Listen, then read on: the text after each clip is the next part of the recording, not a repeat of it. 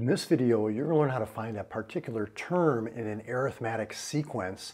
We're going to go through two examples together, so let's dive in. So the first example here, we've got 11, 7, 3, negative 1, dot, dot, dot. So what's the pattern here? What are you noticing? How are we getting from this first term to this next term, etc.?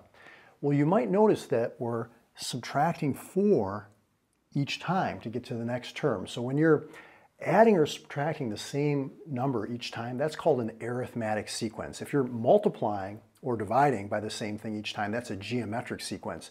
But in this lesson, we're going to talk about just uh, arithmetic sequences. And I want to tell you a little bit about the notation real quick. This first term, we call this n equals 1. The second term, we say n equals 2, n equals 3, etc. But the value of the term, like what the term actually equals, we call that a sub 1, like subscript 1. This is a sub 2, like the second uh, term's value, right? a sub 3, etc.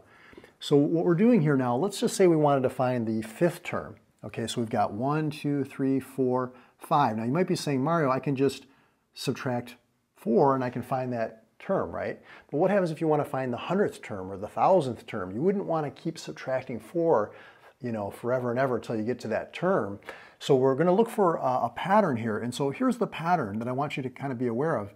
We're starting at this first term, okay, which is 11, and we're subtracting 4 once, twice, three times, four times to get to the fifth term. Now, why only four times?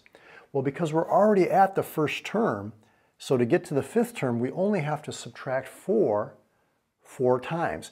And so that's where this formula comes from. We're starting at the first term, and then D represents the common difference, like what, in this case, what we're doing to get to the next term. In this case, we're subtracting 4, but it's n minus 1 times, one less time than the term that you want because you already know what that first term is. You're already at that first term. So what we can do here is write a little formula, and we can see that uh, a sub n, the value of the nth term, is going to equal the first term, which is 11, plus our common difference, which is a negative 4, n minus 1 times. Now we can simplify a little bit by distributing this negative 4 into the parentheses. Negative times a negative gives us a positive 4. And then combine like terms. So 11 plus 4 is 15 minus 4n. And this is what we call an explicit formula, meaning it takes us right to whatever term we want. If we want the 100th term, we just put 100 in for n. In this case, let's say we want to find the fifth term. We've got a sub 5 equals 15 minus 4 times 5. That's 15 minus 20, which is negative 5, which we knew that it, this was negative 5 because we recognized that we were subtracting 4 each time. But say if we wanted to find like a sub 15, like the value of the 15th term. So here we would say, all right, it's going to be 15 minus 4 times 15.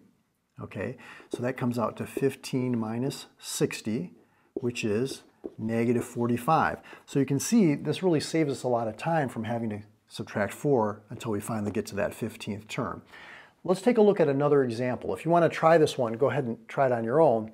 What's the pattern here? How are we getting from negative 6 to 1 or 1 to 8 or 8 to 15? Well, if you said that we're adding 7 each time, you're exactly right, and that's what's called our common difference or our D value.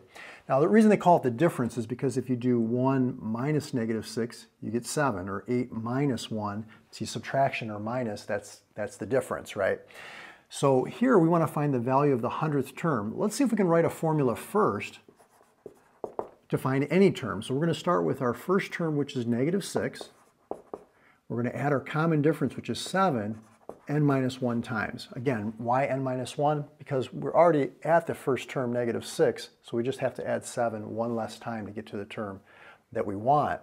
So let's simplify a little bit here. Let's distribute. This gives us 7n minus 7, and that's going to be 7n minus 13 if we combine the negative 6 and negative 7.